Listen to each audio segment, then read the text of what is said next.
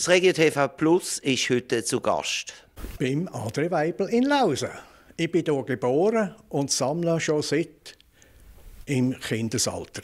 Ich habe angefangen mit Nuki. Aber jetzt ist meine Leidenschaft eigentlich Ansichtskarte. Schon seit über 50 Jahren. Und ich bin Leandra Honegger. Ich bin zuständig für die Auktionen. Ich mache Fernauktionen. Ich sehe so mit, mit Katalogen, die ich den Leuten heimschicke und die am Schluss nachher auf Filasearch äh, versteigert werden online. Ich bin der Jean-Paul Bach, in erster Linie zuständig für Briefmarken. Ich mache Auktionen und Schätzungen. Auch für Münzen, für Schmuck und für Bilder. Wir sind hier im neuen Sammlerladen von Lausen. Und eigentlich ist das schon lange mein Ziel gewesen, weil ich möchte die wertvollen Sachen, die heute das Kulturgut sind, den Leuten näher bringen und erklären. Das ist eigentlich meine Aufgabe. Wir bieten bei uns im Laden an Briefmarken, Münzen von alten bis neuen. Wir haben Ansichtskarten, wir haben Papier aller Art, wir haben Handtaschen, wir haben Sonnenbrillen, wir haben Antiquitäten. Es ist ein bisschen ein Sammelsurium, das wirklich für jedermann interessant sein kann. André, du hast gesagt, die große Leidenschaft. Gehen wir mal ein bisschen ins Detail rein. Ich glaube, aus der ganzen Schweiz findet man hier Karten.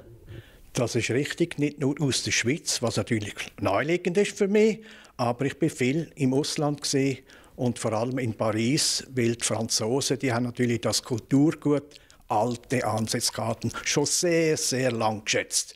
Und es gibt dort Börsen, die haben auch Bücher geschrieben, Kataloge rausgegeben etc. Aber viele von diesen Leuten sind alle schon gestorben, die ich kennt habe oder nicht. Und jetzt ist in Paris eigentlich nicht mehr viel los. Die Ware ist alles wieder zurück in der Schweiz, was gut ist. Dein Bijou? Es gibt so viele Anekdoten, die ich für jedes Objekt, ich kann dir hunderte, tausende wenn ich Millionen Objekte zeige, wo ich immer noch eine Beziehung dazu und eine Geschichte kann erzählen kann, wo ich das her habe. Und da gibt es die straubigsten Geschichten daraus.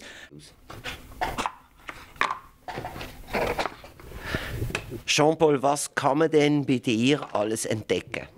Bei uns haben wir vor allem Briefmarken. Das ist das Hauptgeschäft. Dann haben wir Münzen, Medaillen, Gold und Silber. Dann haben wir Schmuck, in jeglicher Form, vor allem Gold. Silberschmuck haben wir nicht, das handeln wir nicht. Aber Goldschmuck, Bissgold, Antikschmuck und mit guten Steinen.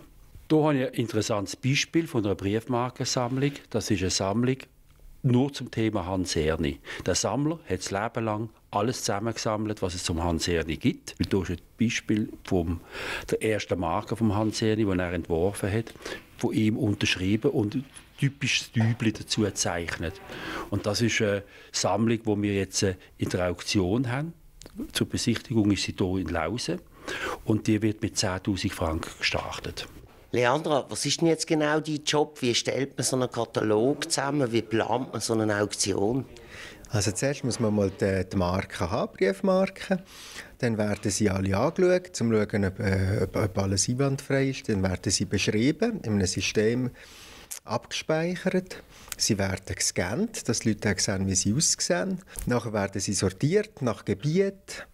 Und dann kommt der Katalog, dann machen wir den Katalog. Und dann wird softwaretechnisch, heute ist das, äh, wird das eigentlich automatisch gemacht. Was noch speziell zu erwähnen ist, wir nehmen äh, Briefmarken in Kommission auf und wir kaufen selber ankaufen. Also es ist so, wir haben vom Dienstag zum Mittag offen und am Freitagsmittag und am Samstag bin ich jetzt auch noch da.